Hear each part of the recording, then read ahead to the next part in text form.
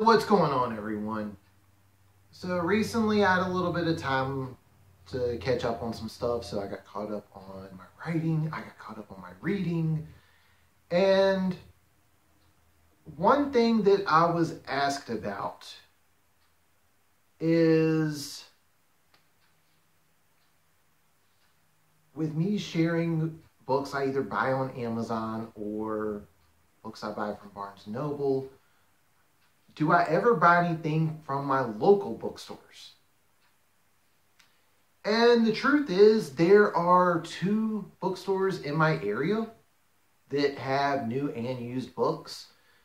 Unfortunately, I don't go to those as often as I go to Barnes & Noble or Amazon.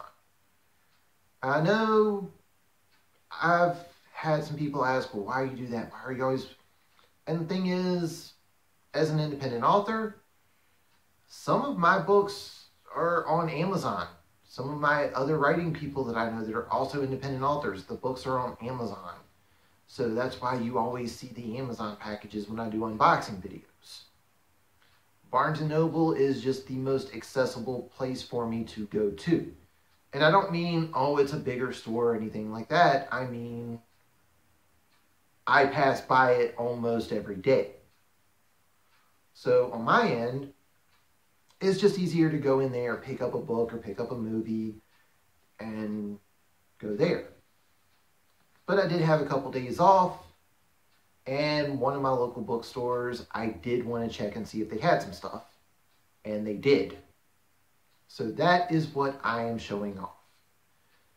For those that do not know, the 434 in Writer 434 is the area code for where I live.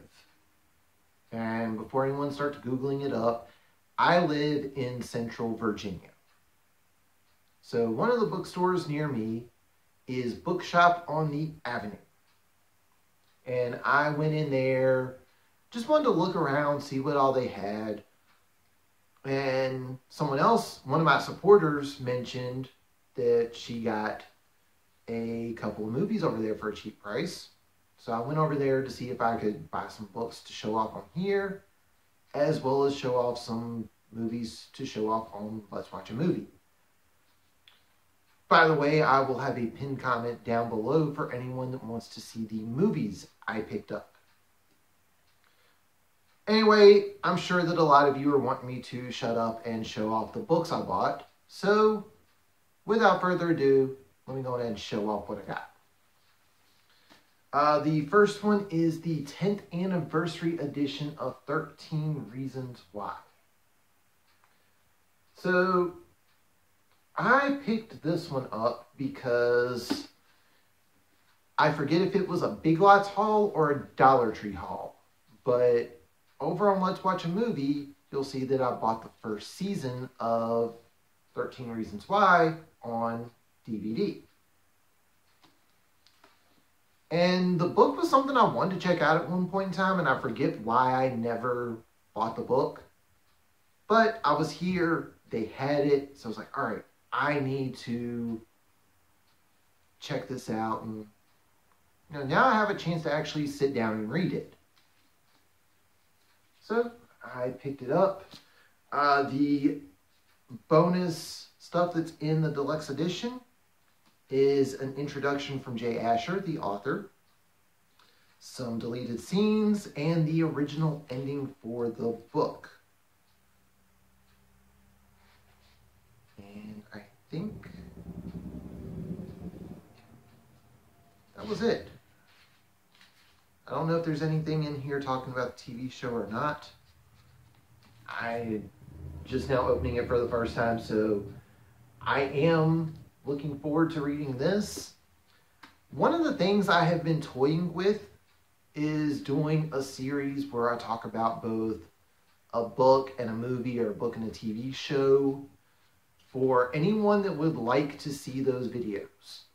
Two part question. One, do you want those videos? And two, where do you want them at? Do you want them over here on Writer 434 or do you want them over on Let's Watch a Movie? For those that are not subscribed to Let's Watch a Movie, I do want to give everyone the forewarning now. things are a little different over on Let's Watch a Movie than they are over here. Over here, a lot of people like the longer videos, me just talking to everyone. Over there, I'm loud. The videos are shorter than they are over here. So keep in mind all of that stuff when you're figuring out where you would like these if you want these videos. But I can definitely do one on 13 Reasons Why because I do own the first season. Uh, to my knowledge, seasons two and three don't really follow the book. So I'm only going to talk about season one.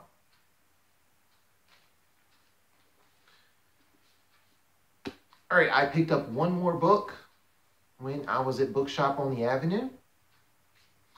And with this one, I had to pick it up for a couple of reasons. One, it's my favorite author. Two, I do not have this book in hardcover. And three, as I found out, I don't have just this book. I have a combo pack of this book.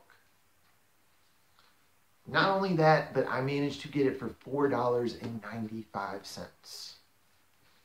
And that is Anansi Boys from Neil Gaiman. Let me show you how long ago this book was published, or this version. Yeah, it's been a while for any of my fellow Neil Gaiman fans since the, this particular version came out. Uh, for the record, yes, I have read this book. I love it. It's not quite American Gods for me, but it is pretty high up on the list. I've got the Barnes and Noble combo, like coffee table sort of book, I guess, that has both American Gods and Anansi Boys.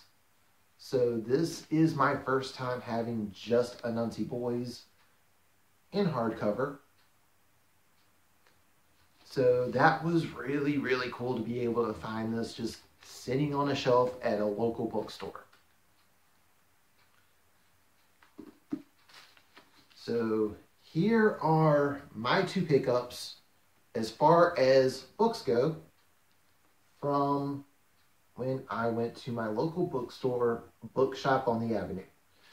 I will have a pinned comment down below with a couple of links. The first one will be for the video that shows off the movies that I bought when I was at Bookshop on the Avenue.